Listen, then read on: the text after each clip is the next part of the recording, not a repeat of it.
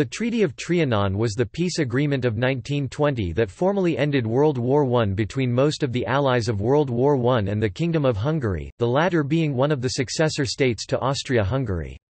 The treaty regulated the status of an independent Hungarian state and defined its borders. It left Hungary as a landlocked state that covered 93,073 square kilometers, 35,936 square miles, only 28% of the 325,411 square kilometers, 125,642 square miles that had constituted the pre-war Kingdom of Hungary, the Hungarian half of the Austro-Hungarian monarchy. Its population was 7.6 million, only 36% of the pre-war kingdom's population of 20.9 million. The areas that were allocated to neighboring countries in total and each of them separately had a majority of non-Hungarians but 31% of Hungarians 3.3 million were left outside of post-Trianon Hungary. Five of the pre-war kingdom's ten largest cities were drawn into other countries. The treaty limited Hungary's army to 35,000 officers and men, and the Austro-Hungarian navy ceased to exist. The principal beneficiaries of territorial division of pre-war Kingdom of Hungary were the Kingdom of Romania, the Czechoslovak Republic, and the Kingdom of Yugoslavia. One of the main elements of the treaty was the doctrine of self-determination of peoples, and it was an attempt to give the non-Hungarians their own national states. In addition, Hungary had to pay war reparations to its neighbours.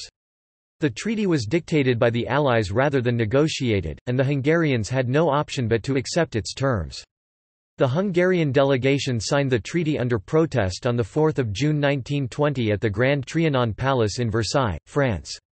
The treaty was registered in League of Nations Treaty Series on 24 August 1921. The modern boundaries of Hungary are the same as those defined by the Treaty of Trianon, with some minor modifications until 1924 and the notable exception of three villages that were transferred to Czechoslovakia in 1947.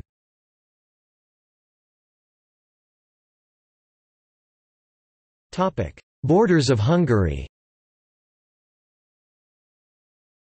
The Hungarian government terminated its union with Austria on 31 October 1918, officially dissolving the Austro-Hungarian state. The de facto temporary borders of independent Hungary were defined by the ceasefire lines in November to December 1918. Compared with the pre-war Kingdom of Hungary, these temporary borders did not include Part of Transylvania south of the Mureș River and east of the Someș River, which came under the control of Romania ceasefire agreement of Belgrade signed on 13 November 1918. On 1 December 1918, the National Assembly of Romanians in Transylvania declared union with the Kingdom of Romania. Slovakia, which became part of Czechoslovakia status quo set by the Czechoslovak legions and accepted by the Entente on 25 November 1918.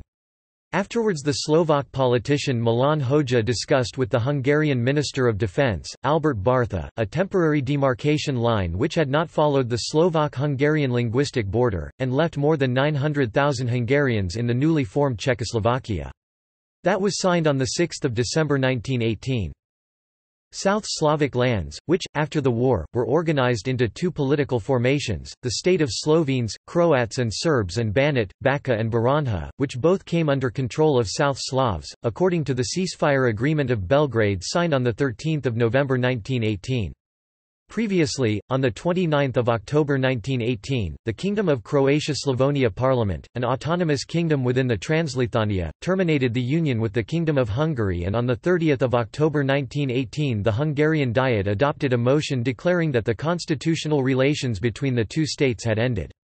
Croatia-Slavonia was included in a newly formed state of Slovenes, Croats, and Serbs which also included some other South Slavic territories, formerly administered by Austria-Hungary on 29 October 1918.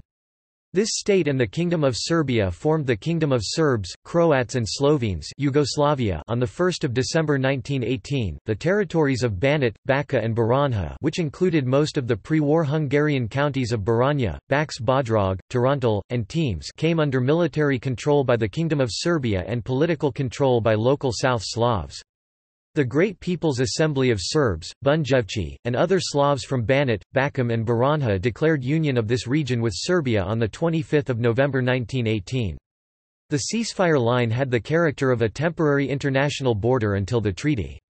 The central parts of Banat were later assigned to Romania, respecting the wishes of Romanians from this area, which, on 1 December 1918, were present in the National Assembly of Romanians in Alba Iulia, which voted for union with the Kingdom of Romania.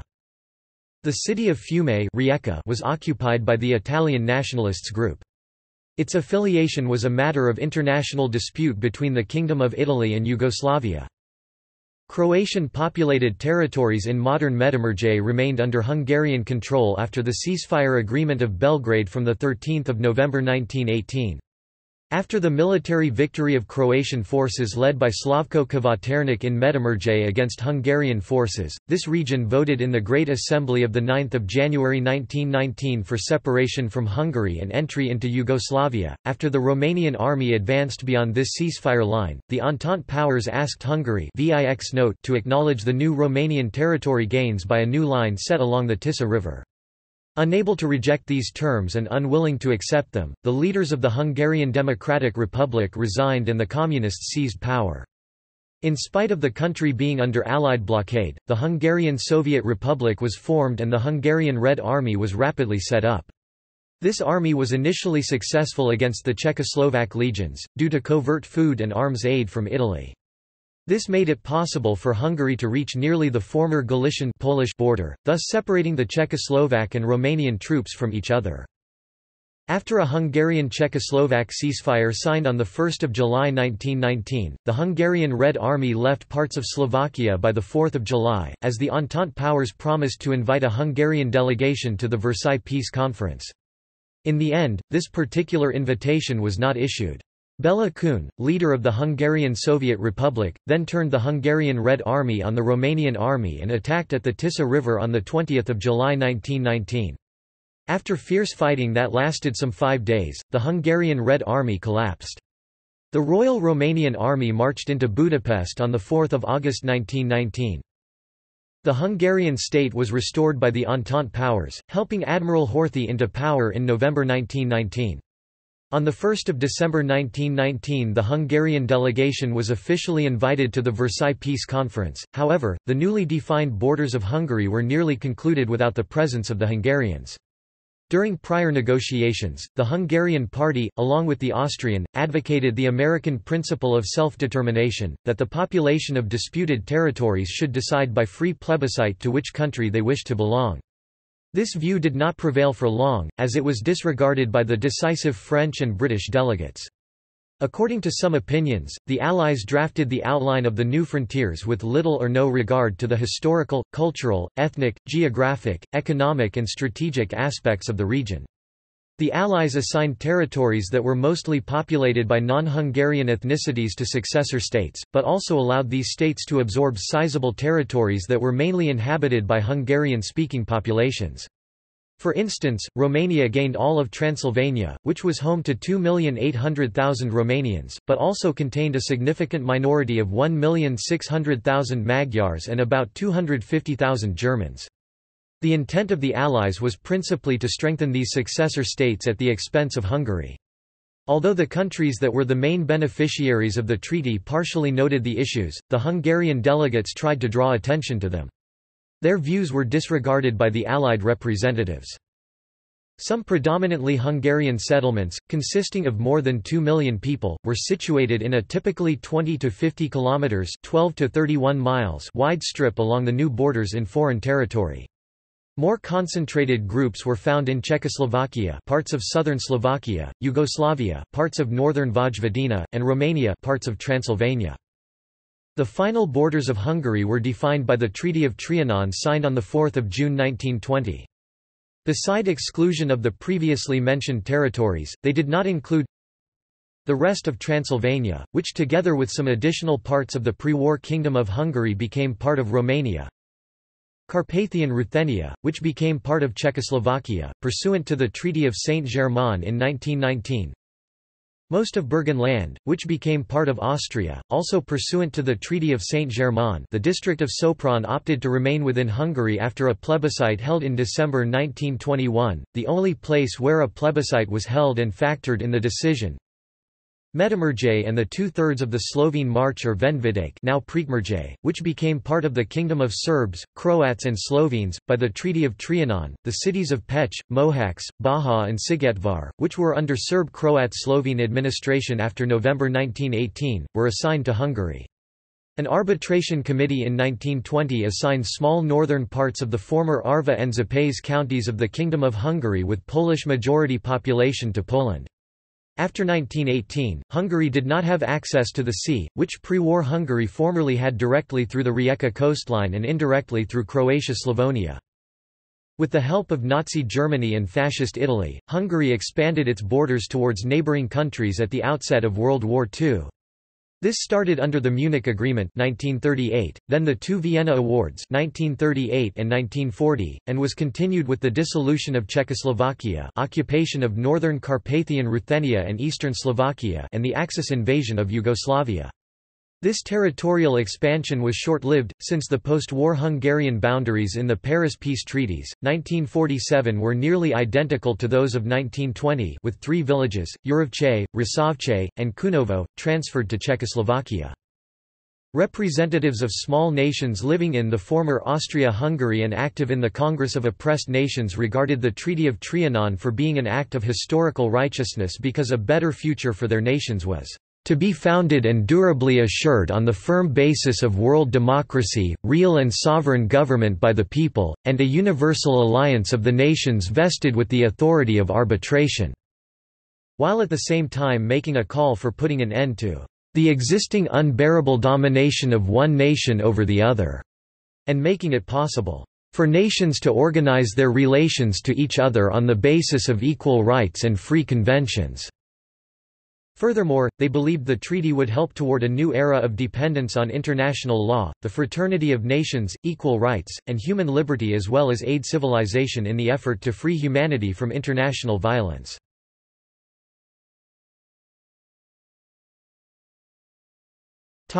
Results and consequences of the treaty.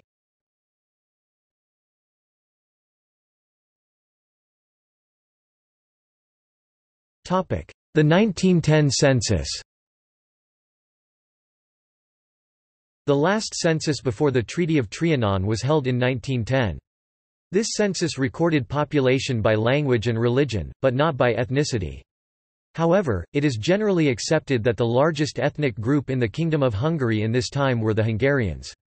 According to the 1910 census, speakers of the Hungarian language included approximately 48% of the entire population of the kingdom, and 54% of the population of the territory referred to as Hungary proper, i.e. excluding Croatia-Slavonia.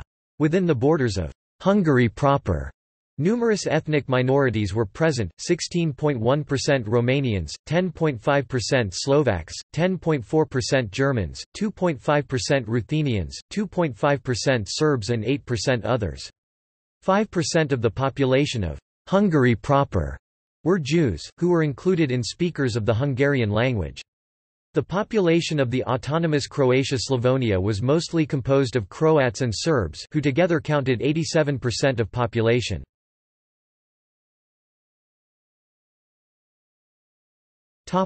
Criticism of the 1910 census. The census of 1910 classified the residents of the Kingdom of Hungary by their native languages and religions, so it presents the preferred language of the individual, which may or may not correspond to the individual's ethnic identity. To make the situation even more complex, in the multilingual kingdom there were territories with ethnically mixed populations where people spoke two or even three languages natively. For example, in the territory what is today Slovakia then part of Upper Hungary 18% of the Slovaks, 33% of the Hungarians and 65% of the Germans were bilingual. In addition, 21% of the Germans spoke both Slovak and Hungarian beside German. These reasons are ground for debate about the accuracy of the census. While several demographers David W. Paul, Peter Hanák, Laszlo Katus state that the outcome of the census is reasonably accurate assuming that it is also properly interpreted, others believe that the 1910 census was manipulated by exaggerating the percentage of the speakers of Hungarian, pointing to the discrepancy between an improbably high growth of the Hungarian-speaking population and the decrease of percentual participation of speakers of other languages due to Magyarization in the kingdom in the late 19th century. For example, the 1921 census in Czechoslovakia only one year after the Treaty of Trianon shows 21% Hungarians in Slovakia, compared to 30% based on 1910 census. Some Slovak demographers such as Jan Svetoň and Julius Mesaros dispute the result of every pre-war census. Owen Johnson, an American historian, accepts the numbers of the earlier censuses up to the one in 1900, according to which the proportion of the Hungarians was 51.4%, but he neglects the 1910 census as he thinks the changes since the last census are too big. It is also argued that there were different results in previous censuses in the Kingdom of Hungary and subsequent censuses in the new states. Considering the size of discrepancies, some demographers are on the opinion that these censuses were somewhat biased in the favor of the respective ruling nation.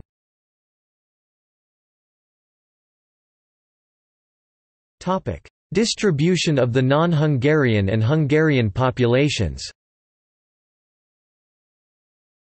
The number of non-Hungarian and Hungarian communities in the different areas based on the census data of 1910 in this, people were not directly asked about their ethnicity, but about their native language.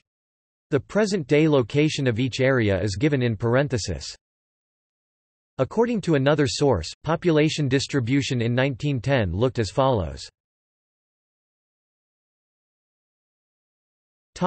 Hungarians outside the newly defined borders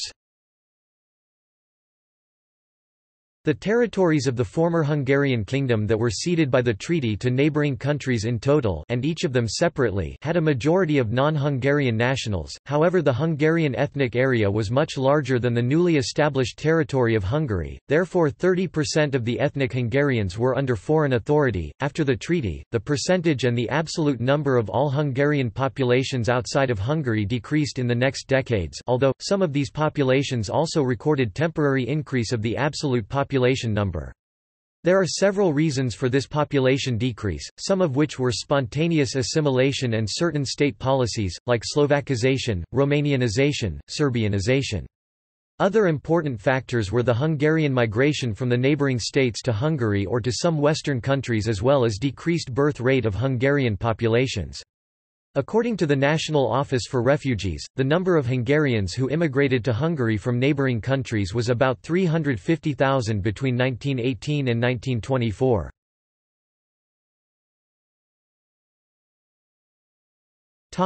Minorities in post-Trianon Hungary On the other hand, a considerable number of other nationalities remained within the frontiers of the independent Hungary. According to the 1920 census 10.4% of the population spoke one of the minority languages as mother language. 551,212 German 6.9% 141,882 Slovak 1.8% 36,858 Croatian 0.5% 23,760 Romanian 0.3% 23,228 Bunjevac and Šokac 0.3%. 17,131 Serbian 0.2%. 7,000 Slovene 0.08%. The percentage and the absolute number of all non-Hungarian nationalities decreased in the next decades, although the total population of the country increased. Bilingualism was also disappearing. The main reasons of this process were both spontaneous assimilation and the deliberate Magyarization policy of the state. Minorities made up 8% of the total population in 1930 and 7% in 1941 on the post-Trianon territory. After World War II, approximately 200,000 Germans were deported to Germany, according to the decree of the Potsdam Conference. Under the forced exchange of population between Czechoslovakia and Hungary, approximately 73,000 Slovaks left Hungary and according to different estimations 120,500 or 45,000 Hungarians moved to present-day Hungarian territory from Czechoslovakia. After these population movements Hungary became an almost ethnically homogeneous country with the exception of the Hungarian-speaking Romani people.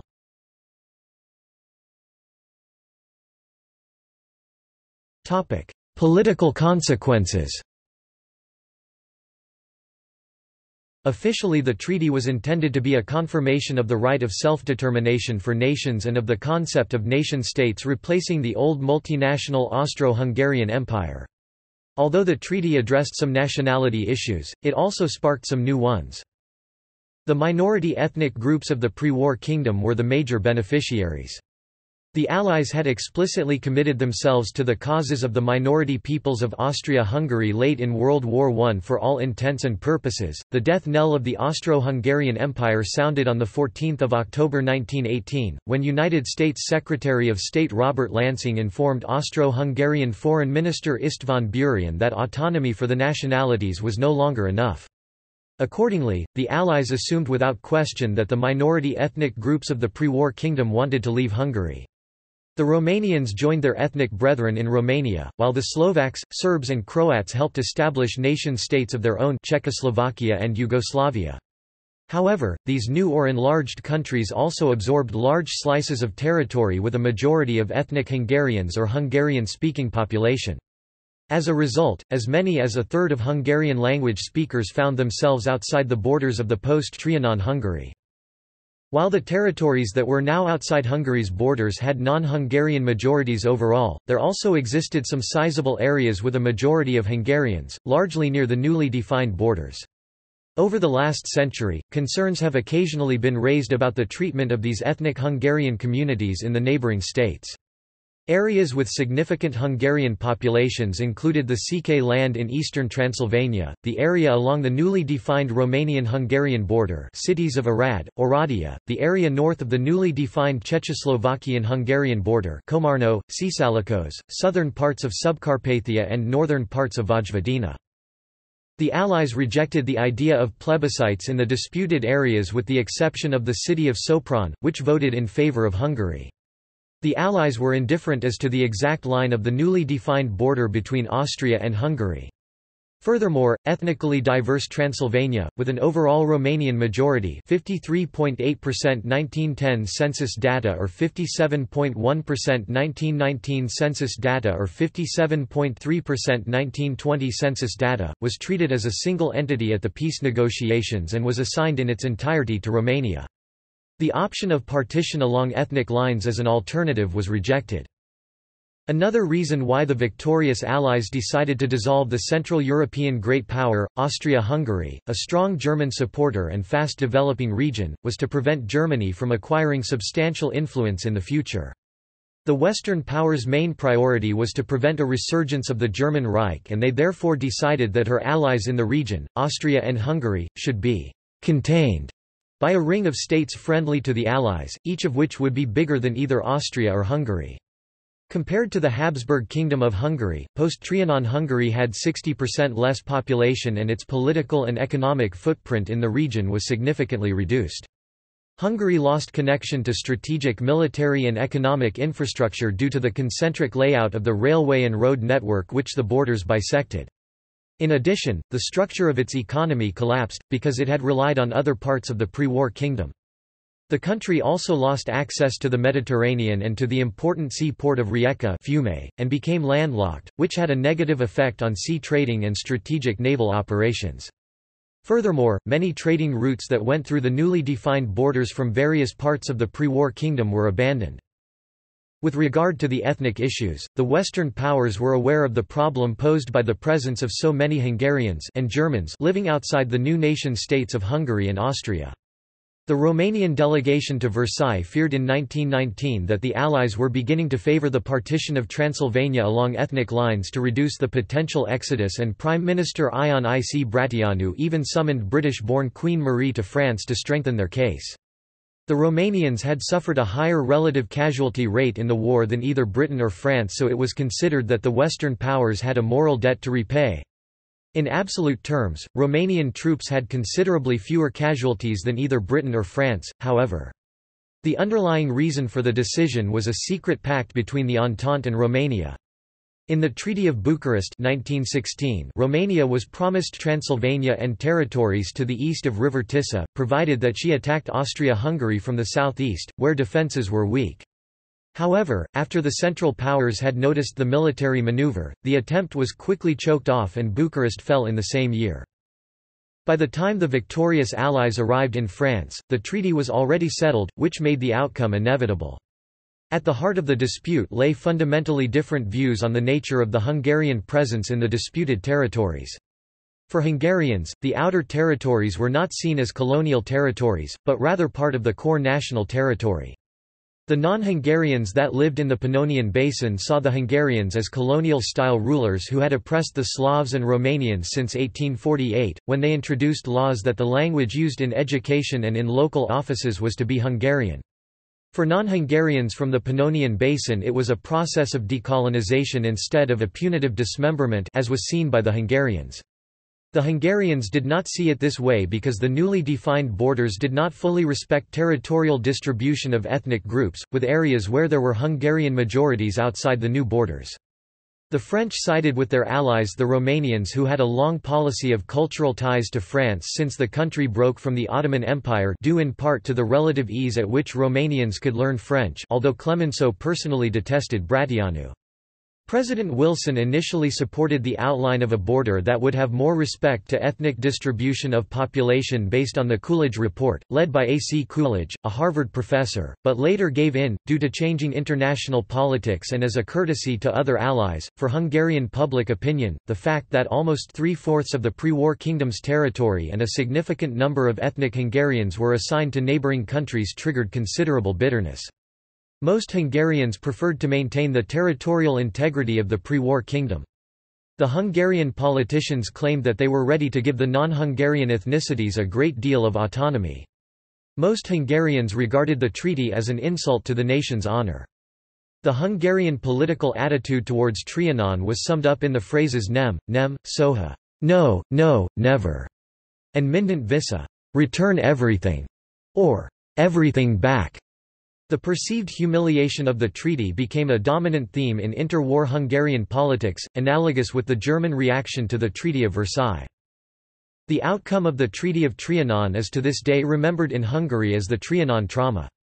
All official flags in Hungary were lowered until 1938, when they were raised by one-third after southern Slovakia and Ruthenia, with respectively 59% and 86% Hungarian populations, were annexed following the peacetime Munich Conference and First Vienna Award, whereby Nazi Germany and Fascist Italy sought to satisfy Hungarian territorial claims.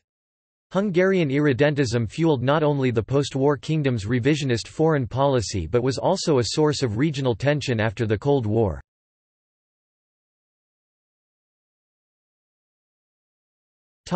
Economic consequences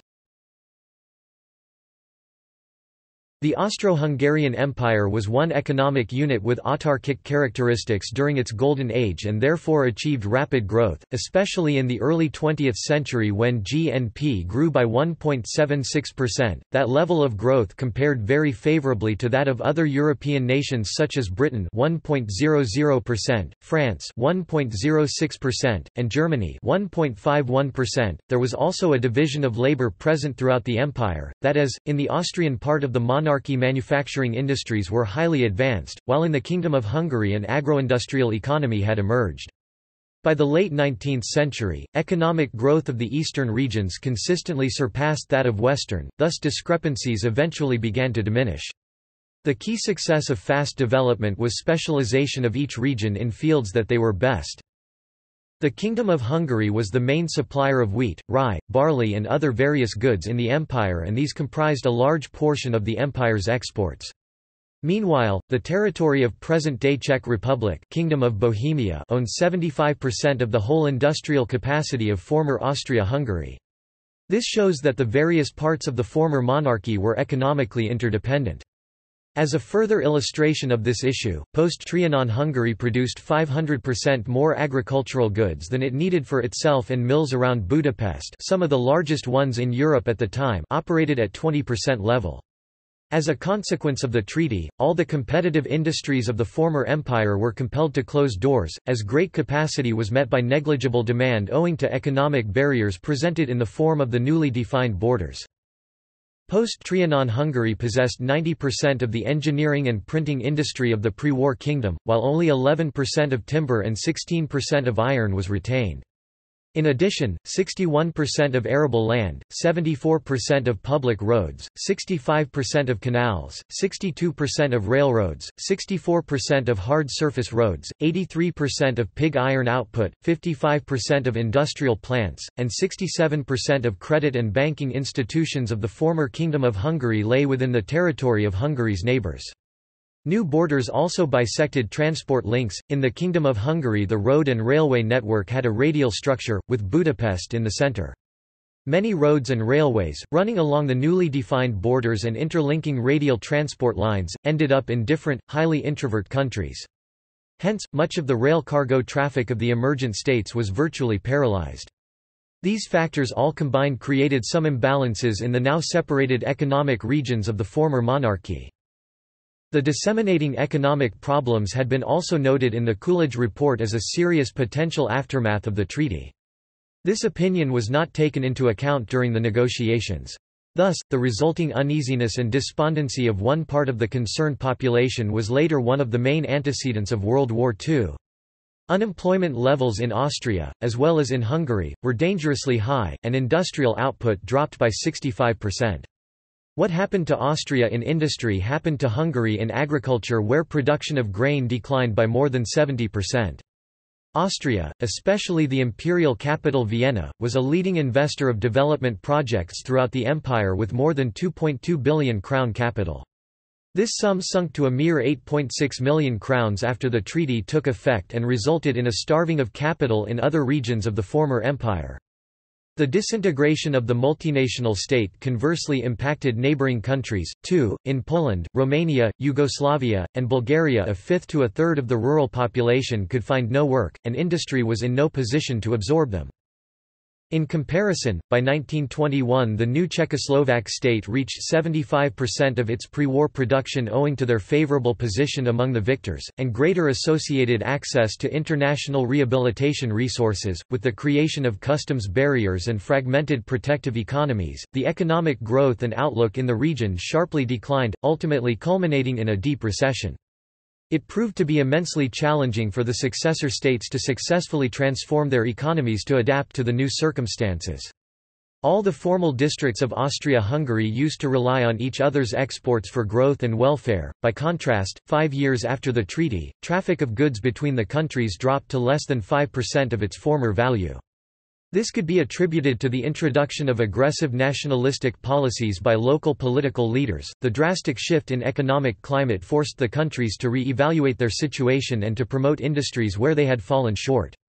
Austria and Czechoslovakia subsidized the mill, sugar and brewing industries, while Hungary attempted to increase the efficiency of iron, steel, glass and chemical industries. The stated objective was that all countries should become self-sufficient. This tendency, however, led to uniform economies and competitive economic advantage of long well-established industries and research fields evaporated. The lack of specialization adversely affected the whole Danube-Carpathian region and caused a distinct setback of growth and development compared to the West as well as high financial vulnerability and instability.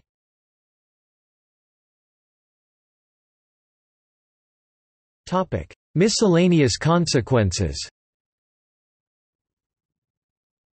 Romania, Yugoslavia and Czechoslovakia had to assume part of the financial obligations of the former Kingdom of Hungary on account of the parts of its former territory that were assigned under their sovereignty. Some conditions of the treaty were similar to those imposed on Germany by the Treaty of Versailles. After the war, the Austro-Hungarian navy, air force and army were disbanded. The army of post-Trianon Hungary was to be restricted to 35,000 men and there was to be no conscription. Heavy artillery, tanks and air force were prohibited.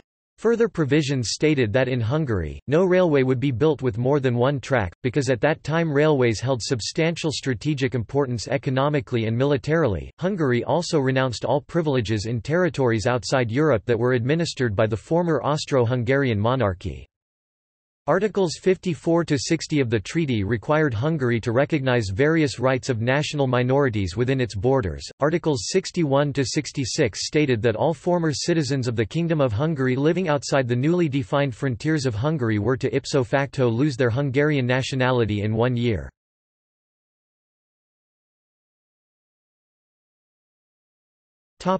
See also